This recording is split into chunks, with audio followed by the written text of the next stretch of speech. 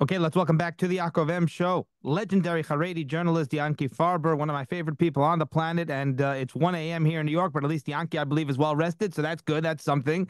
Yanky, thank you very much for being here. Here's my question: Is the war progressing as the Israelis, as the government was hoping, or have they now been forced to go soft, to take a softer approach, a gentler approach, and that does that place soldiers in more danger? Well, there's so many reports about um, what you just said, and um, the IDF is is denying it completely. The IDF is saying that it's not true, and the reason why they're working uh, much more uh, um, carefully or different than in the beginning is because they want to make sure they don't uh, at- attack any place that the hostages might uh, be there and the reason why they're changing the whole way of fighting is because most of Gaza is basically under the IDF. So there are a few places where IDF has not finished the, the job. Um, the soldiers must work much, much uh, different. Not, you know, like in the beginning, uh, shooting from, uh, you know, first from the air and then um, uh, tanks and then soldiers go in. Now, um, the places that are left over to check or much more uh, crowded with people and or completely different areas. So obviously they need to work differently. Again, there is um, again people say that uh, the IDF is working differently, but the IDF is denying it. Now, if it's true or not, I don't know. But um, obviously, America is putting a lot of pressure on Israel, you know, to minimize the attacks that civilians could hurt, and this is not a secret. This has been it's been saying um, also in the United States and also in Israel. But I don't really think that the IDF is endangering uh, soldiers. They're just working different. People are used to that the IDF is going in with you know thousand soldiers at the first time at the beginning, but now they need to work different. I, I don't think the IDF is endangering soldiers. Okay, interesting. And look, I trust your opinion a lot. And as you said, President Biden putting enormous pressure on Bibi Netanyahu. He criticized the indiscriminate bombing. Now there's a report that Biden hung up the phone on Bibi Netanyahu. They were the, having some kind of dispute about giving tax money to Palestinians, but obviously there's a lot of friction there. But you know, number one, two questions. Number one, there's been an uptick. Uh, certainly, more soldiers. Every single life is precious, and it's heartbreaking. But there, there has been an uptick in the amount of soldiers dying. It used to be one or two a day, and now number three, five, more, more sometimes every day and the Israeli media, you saw this reported a shift in the strategy. They're saying that now it's going to be more of a long-term war. They're saying that uh, they're not they're going to have a buffer zone, and they are saying that it's going to take maybe years to dismantle Hamas. So it does sound like there has been a change in the in the strategy and the approach. Yeah, well, I know it sounds very. It's exactly what you said at the end of the day, the people who are actually dealing with uh, the terrorists, with Hamas terrorists in Gaza, is not President Biden and not uh, Netanyahu and not even the chief of staff of the Israeli army. It's the soldiers in Gaza inside, and they actually um, um, work differently than before. And they many times I've heard, um, you know, some commanders, some even soldiers who went out from Gaza just for a few for a few hours to have a rest or something. They said, well, everything is different than in the beginning, but not because what the media is saying. It's just, you know, at the end of the day, we saw yesterday, I think last night, that America, uh, Antony Blinken, um, you know, skipped the Congress again, second time, and sold uh, some uh, uh quite a few uh, some important things that the Israeli army needs. So, you know, also right. we have to remember that a lot of the things that Biden is saying and America is doing and what is actually being done in Gaza are two different things because Biden must say some things for his people, like, you know, for many, many Palestinians who live in America and all the people who support him, they're very upset that he supports Israel so strongly. So he has to give them a little bit, you know, something to keep them quiet. So he's saying, yeah, we're doing this, we're doing that. I told Bibi this, I told Bibi that. At the end of the day, in Gaza, things are different. Oh, very, very, very different. And uh, on that note, you know, I do want to know if you know any details about the hostages. Look, as we know, Baruch Hashem, you know, many hostages were released. It's never enough, but you know, many women and children were released. Uh, there are stories about hostages that are being found not alive. There are horrific stories. Uh, do you know any news? Obviously, the ones that were released were uh, under the control of Hamas. There are some rogue uh, people, captors, who are holding hostages who may never be found, Chas Shalom. But any news on? There are reports of negotiations, a possible ceasefire. I'm curious if you know any progress on that. And also, did Hamas gain anything? The last ceasefire was about two weeks. They released many hostages. Did Hamas gain anything by that? I'm curious why the Hamas would agree to another ceasefire. No, they, they, they keep saying all the time, we are not doing any ceasefire. We want the war to stop completely. And then we're going to start a negotiation about releasing hostages. Why? Because Hamas knows that if the war doesn't stop, they're all going to be finished uh, either way. Israel is going to kill them, or they're just going to have to run away to Egypt or something like that. That's why they say that they're not going to do anything again they're not going to do any ceasefire again. They they demand the war to stop. Now Israel is not going to do it.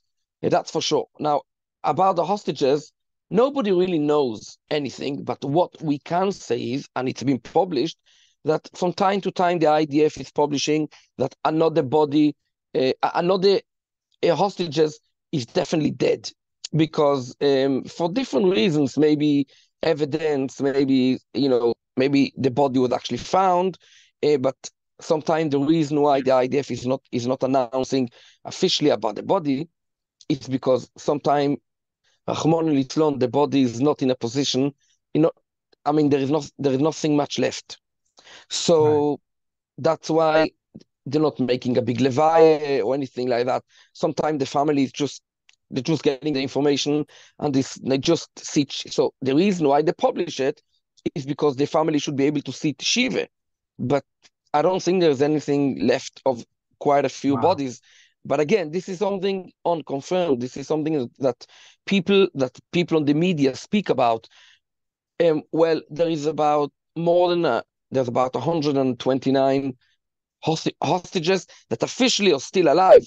Nobody really knows how many of them are really alive, and the and Hamas and Jihad and some other, uh, and they keep saying, Hamas and Jihad keep saying all the time that the Israeli army killed um, its own hostages uh, by attacking um, this and this and that. But and the Israeli army, of course, is saying that um, it, it, we should not believe Hamas and Jihad uh, because they just saying it, you know, to get a propaganda. Sure. But um, that's why we, we we don't know. Nobody knows anything. Now, let me ask you a question because, as you just mentioned, we keep hearing about tragically, uh, you know, Rahman al hostages who are being discovered that are not alive. The, the judge last week, Judy Weinstein, I believe was her name. They said she, they confirmed she was actually deceased on October 7th, and either the body was brought to Gaza or she was killed in Gaza. Her husband was murdered by Hamas, but a few weeks ago, six hostages were found. But there are certain cases where they were brought to Gaza alive and then they were killed. And I know you're saying that Hamas claims, and I don't believe it, that Hamas claims they were killed by Israeli airstrikes. But sometimes they're killed by Hamas, even though they were being held for many weeks. And do you have any idea how they're killed, why they were killed? Because they are alive, they survived the actual October seventh attack. So um, no, there are no details about that. So, so there's two ways of trying to work out. One way, some of those people did did arrive to Gaza alive, but we don't know how in what condition. Some of them were badly injured. Some of them came to Gaza, and because there is obviously no decent medical uh, uh, treatment in Gaza, so probably they died not because of Hamas. I mean, oh, because of Hamas, right. what they did, what they did on seventh of October, but um, they died just because there's no decent equi- uh, medical equipment in Gaza. About and also, um, maybe they died also because they were killed on purpose by Hamas. Um, we don't know. The IDF is not announcing the reason why the people were killed. Just, just saying that the, the that sometimes they say that um, those hostages died on 7th of October. So it means maybe they just took bodies. Hamas, you know, just took bodies to Gaza. We don't know. I, I don't think we'll never know. We'll ever know. Interesting. It's possible they took the bodies there to make it seem like they yes. were holding more hostages well, than they really are. Well, listen, I don't think people watched all the videos that Hamas published on 7th of October, but some of the videos you can see they actually taking bodies, dead wow. bodies on.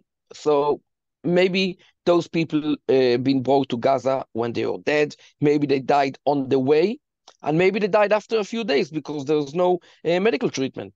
Right now, let me ask you: uh, the two big Hamas leaders, Ismail Haniya, Khaled Mashal, they have been protected in Qatar for years and years. You know, they have been sheltered there. And Israel has basically known their location in addition to the United States. Now, I believe they're in Cairo. And uh, I would think that they're almost sitting ducks. Why has Israel not ever assassinated, or have they even attempted to assassinate these two, Ismail Haniya or Khalid Mashal? Or even now, is that something that do you think they're trying to do, or is that not on the table?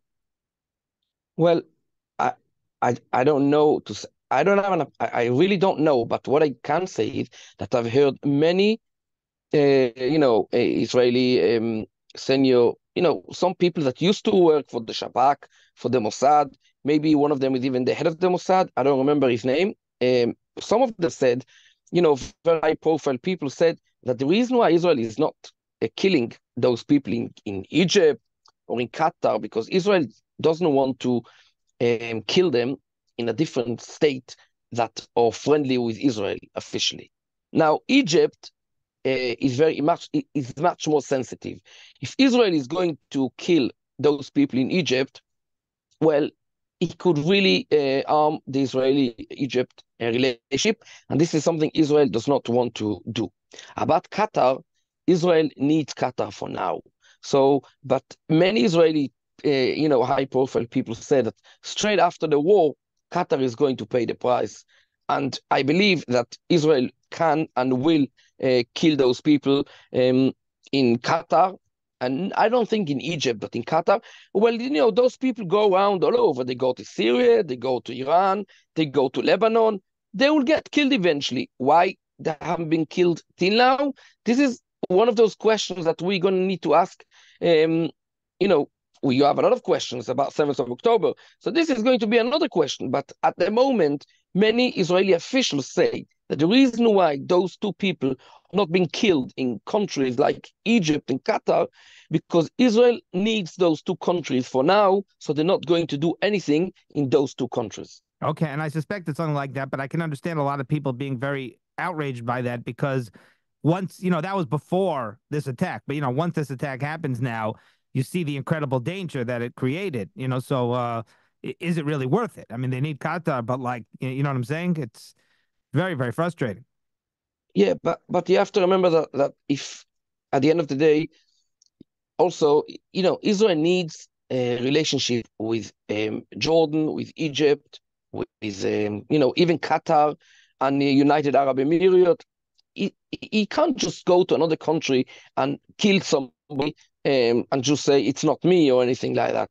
So it's also a lot of things that are in the background and many many um, coincidence, you know, and many I don't know, you know, when if if Israel will kill um, some Hamas guys in different countries, I I, I think um, there will be a lot of uh, problems for Israel. So that's why Israel is waiting for a good opportunity to do it. And the head of the Shabak said, "We are going to kill all of them." It's going to take time. It's going to take a year, two, three, four, five, but they're all going to die. So I don't know. Maybe Israel is just waiting for a better opportunity. Right. And let me ask you a question. And you do seem very positive. I mean, you're very measured and calculated. And I think everything you're saying has a lot of substance as always. And you're very well informed. Um, do you still believe, uh, you know, Hamas will be dismantled uh, now that they're talking about winding it down to a longer term. It's to me, it's starting, starting to sound a little bit like the United States and Afghanistan after 9 11. Well, we're shifting strategy. We're going to wear down Hamas. In other words, it used to be the airstrikes, they were pummeling, they were bombing them, carpet bombing. And now it feels like, well, they're going to wear them down. There's so many of them. It's going to take a long time. Number one, how long will it take? And is it going to happen? Or, or is there going to be a point where they just say, you know, they occupy, but they can't really uh, just completely destroy it? Well, you know, destroying Hamas is a big problem because it's not destroying the people of Hamas. Hamas is, you know, is is ideological. They, it's like uh, it's idea. Hamas is idea. It's not Right. some people. Okay, so you're going to kill all Hamas people in Gaza. They still have people who support them around the world, and in Lebanon, in Syria, in Egypt, in Qatar, whatever. So Sure. uh, you know, killing uh, the idea of Hamas, I don't think it's possible. But definitely, Israel is going to make sure, with all the pressure Israel has from America, from all from other countries, Israel will do everything to destroy Hamas. And you know what? Um, Sinwar and all those people, they will never see the daylight again. They're going to stay in bunkers, just like Nasrallah in Lebanon. The second they will show up, they're going to die because Israel is, doesn't have much to lose anymore.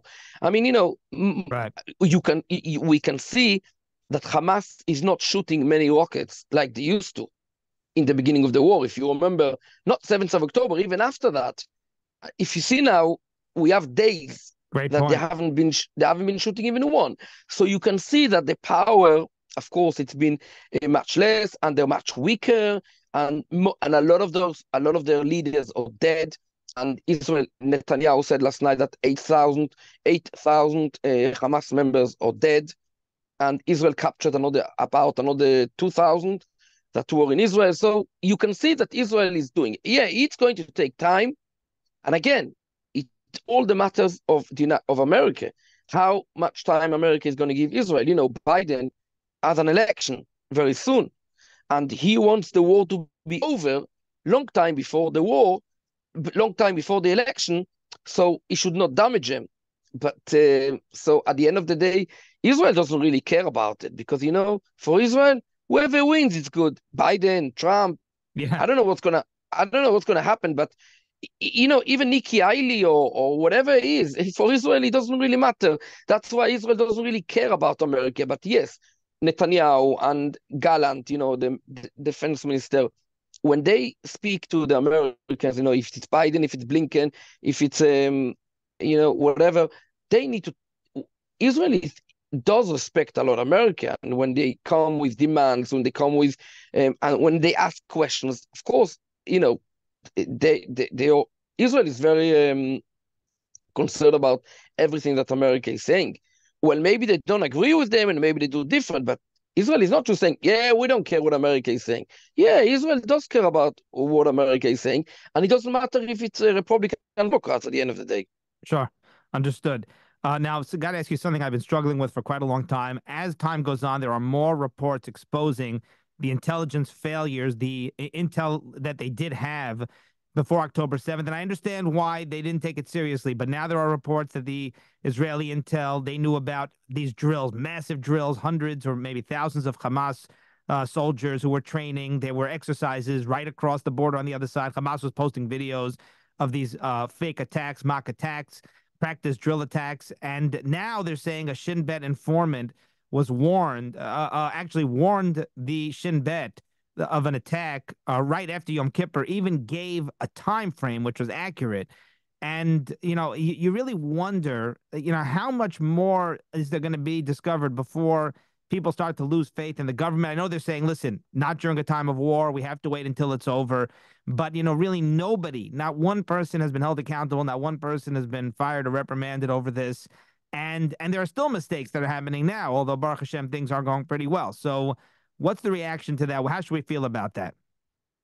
Well, I don't know if you if you did, uh, but yesterday the New York Times posted um, a long, long report about how Israel reacted on 7th of October.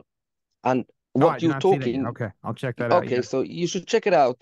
So what you just said was before 7th of October. Now the New York Times posted about what happened on the day of the 7th of October, that the Israeli army wasn't ready for something like that. So on 7th of October, Was ready or was not? thousands. No, the Israeli army were not ready for it because they didn't believe. Now, the reason why the Israeli army were not ready for it, because the Israeli army is not training for something that they don't believe it's going to happen. Right. This is what the New York Times. This is like the you know the headline, the bottom and whatever you want to call it. Israeli army never trained about something like that because they never believed that this will happen. And on 7th of October, on Simchas Torah morning, thousands of soldiers were on their way to the south. They could not reach the bases. They could not reach um, the villages. They could not reach Kfar Gaza. They could not reach, you know, Kibbutz Be'eri because Hamas took over all streets in the south. This is something that Israel has never, ever, ever thought about. And it took time first to kill them. And so many soldiers went down with just a pistol, you know, or maybe M16, but not with proper weapon like Hamas had. Wow. So that's why it took that's why it took a long time. And that's also five, six hours because they shut down the whole streets, the whole unbelievable. Yes. Now, more than that, the helicopter uh, pilots got they did they didn't know where to attack. So this is the New York Times. They reported yesterday. So they got information from WhatsApp, Telegram, Instagram, YouTube. You know, they've been told by the commanders, watch channel 11, 12, 13, see where people needs help and go shoot them. You know, you, you get it? So it was not just, wow. yeah, you should read the New York Times and you should post it on your website, of course. Sure. It's really, it's really, really crazy story. It's a long, long report. I read the whole thing yesterday. I, of course, I translate, you know, the important things on Hebrew for our readers. Uh, but uh, this is really crazy. So if you put together what you said just before about before 7th of October and what happened on 7th of October, all together was going to be really investigated like crazy. And everybody is going to go home, even he doesn't like it, from Netanyahu till all the way down, and also in Israel, also the Israeli army, chief of staff, and all the rest. They're all going to go home. Eh, I mean, they're all going to be fired, they're going to resign, whatever. And also the Israeli intelligence, they all failed. Now, why they failed is because what I think, from my point of view, I, I don't, I'm not, a, you know, an expert in military, but what I think is that the, they just didn't believe that uh, Hamas is so strong. And even what he said, they saw the videos and um, and the training and they've been told, they've been informed by soldiers that, by you know, female soldiers that yeah. some, most of them were captured and killed. They didn't believe. You know, when I was in the IDF, believe it. Yeah. M- many times I came to um, my commanders and I said to them, "Well, I saw this, I saw that." So they told me, "Nah, it's, it's nothing." So once or twice, I said to myself, "Well, he, he doesn't care. He's too tired. Well, I'm going to skip him and I'm going to somebody higher than him. And when I did that, I was told that if I do it once more, I'll go to jail for skipping a, a, a, a commander and going to higher. Wow. Yes. Wow. We're not allowed in the Israeli army. You're not allowed to do it. You're not allowed to go to a higher commander unless you had permission from your own commander. So, but I was a chutzpaniak and I didn't care so much. so I tell you what I did. I called up um, a very, very famous Israeli journalist, um, an IDF journalist. I can say the name. She's still working. Actually, she's she's amazing. Her name is Carmela Menashe.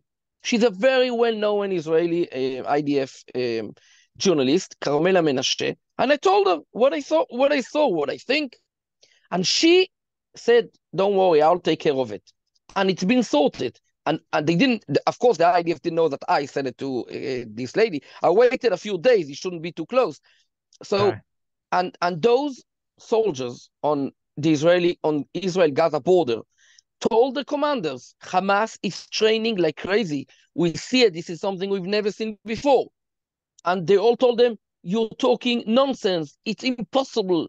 And it's not true. So and you know even the head of the intelligent uh, uh, of the intelligent his name is Haliva uh, he got the information he said nah it's nothing it's nothing no not to be worried they did not believe that hamas can do something i don't know if it's koichi ve'oitzem yudi i don't think so because israel has been attacked so many times right um so I don't think there was something like being, you know, being Hamas a guy. Hamas, for they spent years, years tricking them. They deceived them yes, they they met, they did many tricks that Israel should not realize that what yeah. Hamas is preparing. So I don't think it was Koichi Voitzem Yodi. I, I just think that it's at the end of the day, Hashem. It just blind our leaders. It blinded our intelligence. and this is what happened. That's why I'm saying that all of them need to go. All of them need to resign because we need to have new people who think differently and also listen to, um, you know, uh, soldiers who are not high commanders. And if a soldier that it's only been in the army for a year is telling his commander, well, listen, I see something, don't ignore it. You know, listen to it, check it out. Listen to the people on the ground. On the ground. But yeah. what bothers me, you say they have to go and they have to resign is that they're saying after the war, after the war, not until after the war, and that gives them incentive to prolong the war as long as possible. People are not going to like to hear that, but that's what bothers me is Netanyahu could keep this war going for a year or two. No, no, no, no, no. It doesn't work like that. It's not true. Yeah, once the missions are going to be, once the missions in Gaza are going to be finished, Benny Gantz is going to leave the government. So then you know the war is over. Gantz is not going to stay uh, for forever in, in, in such a government if there is no need. Gantz is not stupid. The second Gantz will realize That's that the missions point. are over, the unity he's going to leave. And, Great point. Yes. So so then then we'll, and I'll tell you more. The day after the, the war, Netanyahu is going to announce. This is what this is my opinion, and this is what I've heard. Uh, he's going to announce election in three months' time because three months is like the minimum time you need to prepare election. Right. So he's going to do it because if he's not going to do it, you know, maybe I don't know if all Israel, but at least 50% or 60% of the people in Israel will go on the streets and will demand Netanyahu's resigning because all of them failed. And he doesn't realize maybe Netanyahu, but this is going to be the bigger demonstration. And not just the left are going to demand Netanyahu's resigning. Also, many, many right wing people will demand because all those people from Netanyahu till the bottom and the IDF, all top commanders, they all must resign. They failed. They haven't done the job. And all those people who died, um, you know, the civilians who died on 7th of October, this is their fault. And they also said it. They said it many times that the second the war is going to be over, they're going to do their steps and they failed. They admitted it. Netanyahu was the only one that um, didn't really say that was his fault. He just said that he's going to check. Uh, he's he's going to check everything after the war. But at the end of the day, Netanyahu, you know, he, he did a lot of great things. Oh, but yeah. he's been prime minister.